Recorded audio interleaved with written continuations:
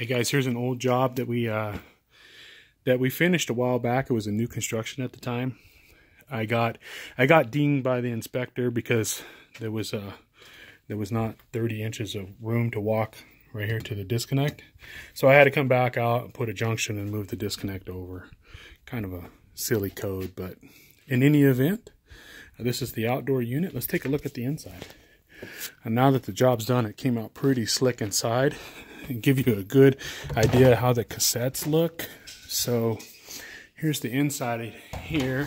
This is the great room and nice setup. Nice big loft. And let me go around these chairs. Come over here to the kitchen.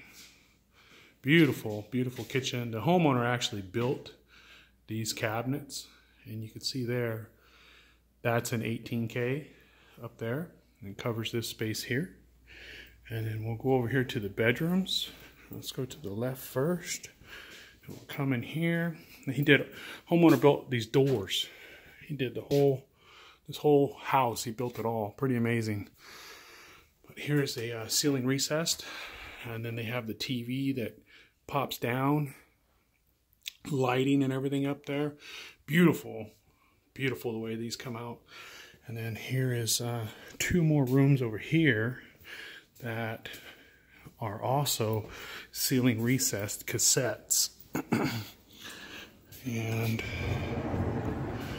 well, it opens up over here, and this is, I believe, is going to be one room here.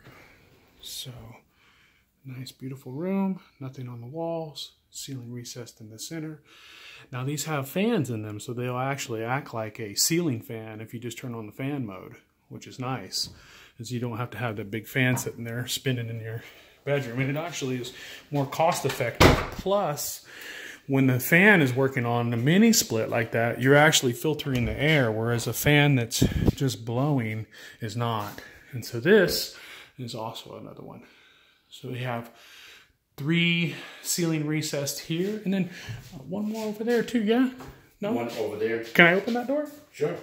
And then we have one more door here. And this one goes into, this was actually at the time the homeowner was sleeping here while building the home. And we put one more inside here too. So this room looks to be, it's not quite finished just yet, but it will also look very nice when done. Uh, and that's the ceiling recessed. Uh, we have those in Mitsubishi's who we carry now, um, but very, very nice. They look beautiful in homes. All right, thanks for watching.